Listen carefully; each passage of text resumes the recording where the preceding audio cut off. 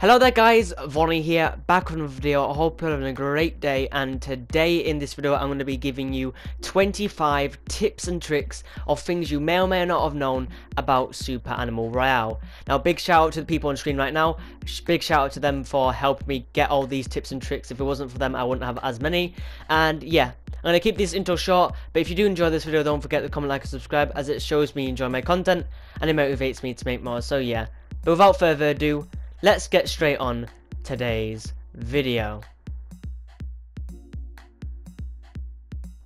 Now starting off with tip number one, we're going to be talking about throwables. Now throwables consist of grenades, gas grenades and bananas and certain objects you can throw them over and some objects you can't. Now it's always best to keep in mind which objects you can and can't as it always allows you to have that extra layer of perception so you can probably get the jump on an enemy if you're throwing a grenade over a wall that you know they can't see you behind or having that extra layer of security to be aware that potentially an enemy can can throw a grenade or a skunk grenade or a banana over a wall to potentially disrupt or kill you. Now moving on to tip number two, and this one is going to be all about the gas, since me and many others forget the gas actually hurts. Now on screen you'll be seeing me taking different forms of gas damage from early to mid to late game. Now the change of damage is gradual, gradual but again it does stack up at the end game and you should really keep this in mind just in case you ever think of exploring the gas. Tip number three, emus, our best friends. Now, some people actually don't know this, but emus can be healed both using campfires and consumables, so mushrooms, coconuts, whatever. So keep this in mind, if you ever want to do an emu strat and you want to heal your best friend, you can always make him peck some mushrooms and coconuts to heal him during battle. Tip number 4. Now, many people also don't know this one, but the Banana Fork upgrade actually allows you to gain more HP when you eat consumables, so mushrooms, coconuts, whatever. Now, keep this in mind, if you ever want to heal yourself during a runaway from a battle, always make sure to equip yourself with banana forkers so that you get that extra health boost when eating mushrooms or coconuts. Now on to tip number 5. Now, this isn't really a feature in the game. I feel like it's more like a bug and I don't know how long this will be in the game for. But for a few times now I was able to get myself to have a weird speed boost of sorts the moment I get revived by a teammate. If you start moving 0.5 seconds before you're revived, you suddenly get a weird speed boost and if you partner it with a roll, you get a massive boost in speed allowing you to dodge out the way just in case if say your teammate revived you in a dangerous place or in the middle of a fight or something. Now moving on to tip number 6. Now this one's going to be much much shorter since it's not really going to be talking about anything major. It's just going to be talking about a thing that people usually misunderestimate sometimes which is the slippery ice and the swampy slash um, shallow water that you can step in. Now obviously that you can nullify the effect by wearing claw boot upgrades but again many people don't actually wear those since there's many other upgrades to wear and have which would be more effective but again it's always best to avoid swampy waters and slippery ice just in case of any issues.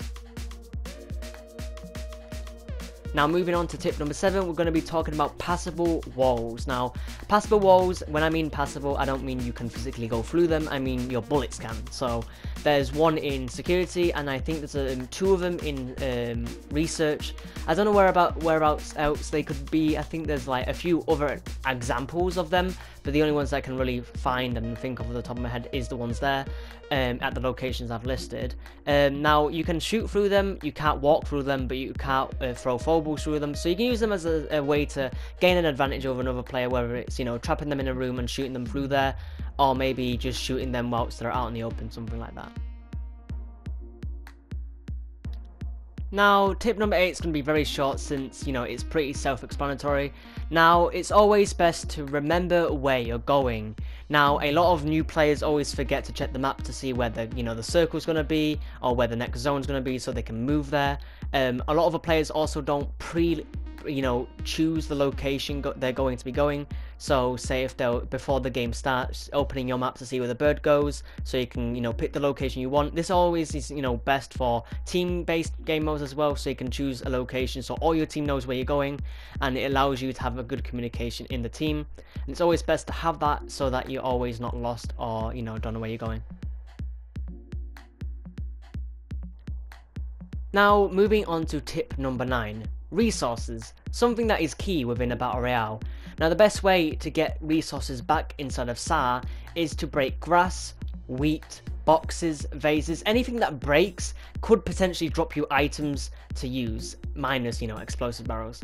Um, now, I think boxes, if I'm remembering from the top of my head, boxes can give you um, tape, it can give you throwables minus bananas, and it can give you ammo. Now, grass and like wheat and stuff can give you juice, bananas, and ammo. So it's always best to remember which one or which um, you know one can give you which item and it's always best to use claw um, the claw boots because they give you an added boost of the things you actually can collect from grass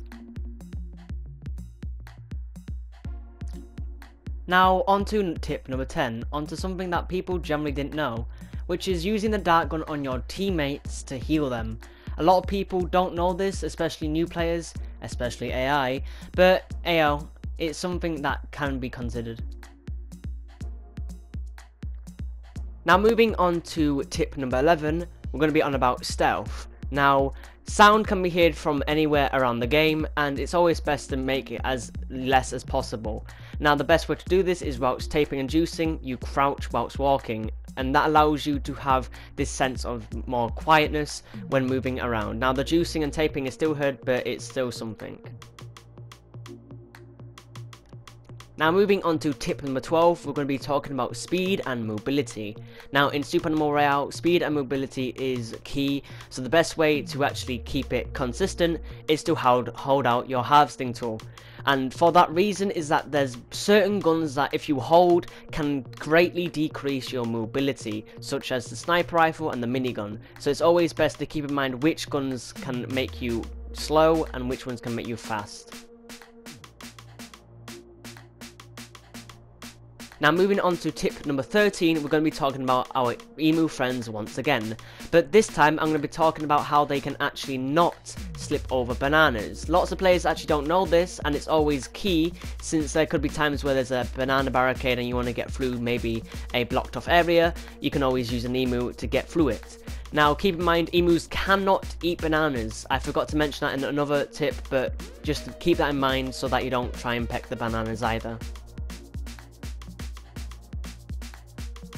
Now moving on to tip number 14, we're going to be talking about bananas. Now, bananas can slip up teammates. Again, lots of people don't know this and think that you can just walk over your teammates' bananas like it's nothing, but sadly that isn't the case. You can slip over your enemy's bananas and you can slip up your own teammates' bananas. So keep that in mind next time when you're in the battlefield to always be mindful about your friends' bananas.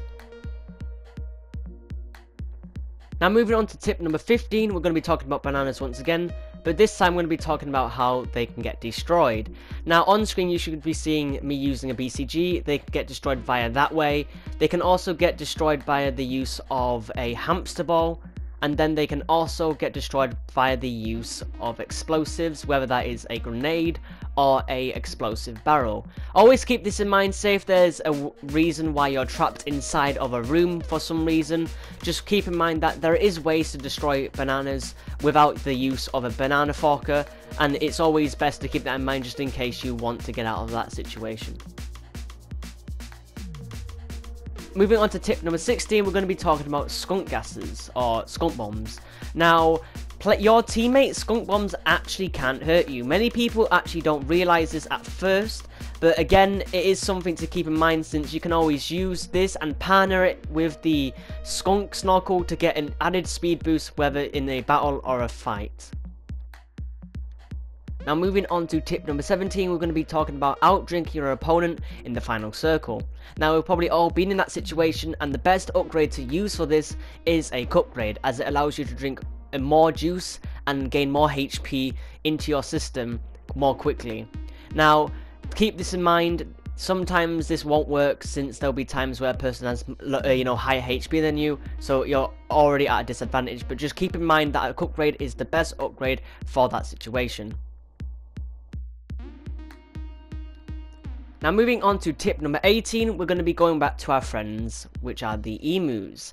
Now emus can have a quick speed duration when your passenger spanks them. Now spanking them I think is just literally pressing the shoot button on any kind of platform and there is a cooldown that appears underneath your HP with every spank and it's always best to keep this in mind just in case you want that added speed bonus to get you and your teammate out of a situation or away an enemy that is just wanting to kill you.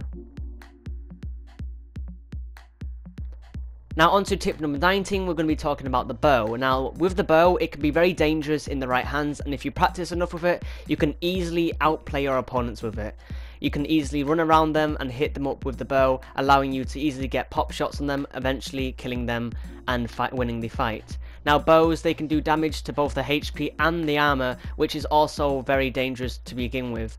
So it's always best to use the bow and practice with it so you can eventually win fights with it. Now moving on to tip number 20, we're going to be talking about the BCG.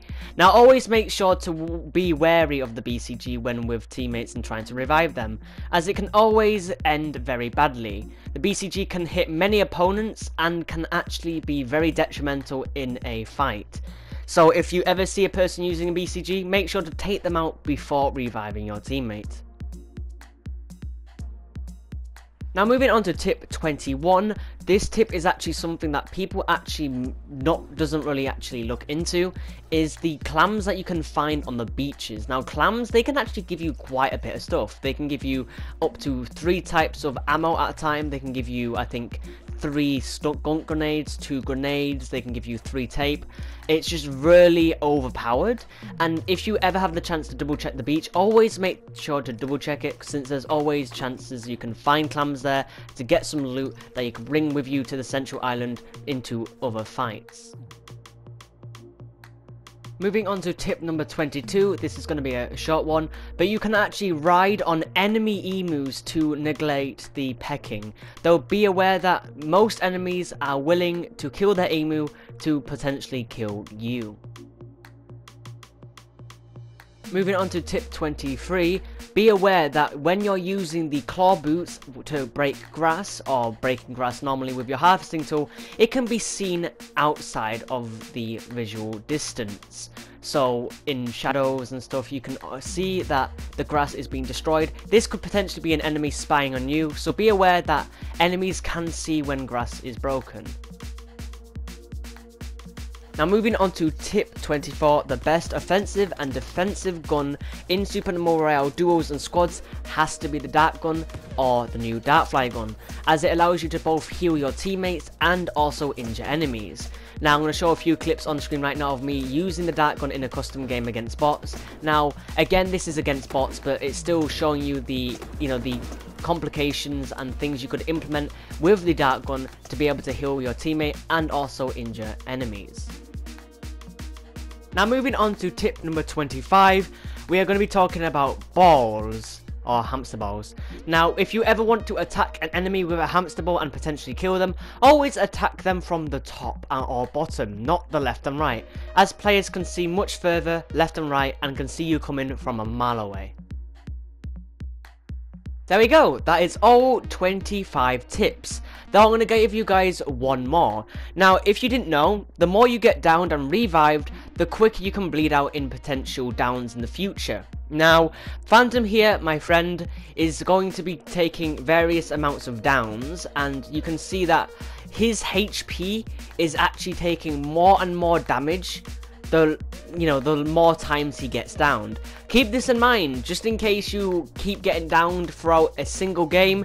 Do know that if you keep on doing so, then you will potentially run into problems where you will probably die more quickly. Now, I hope you did enjoy this video, as much as it was very irritating to get all these little tips for you guys to, you know, put all in one video, it was really fun to actually come together with the community and a few friends, and to be able to get enough uh, tips for you guys to put it into a big video. So I hope you guys did enjoy, and I hope one of these tips helped you. If you want to put comment down which tip was the most useless and which one was the most useful, I wouldn't mind you guys doing so. But anyway, I hope you guys did enjoy this video though, and that you're having a great day. Stay safe, and I'll see you guys later. Bye bye.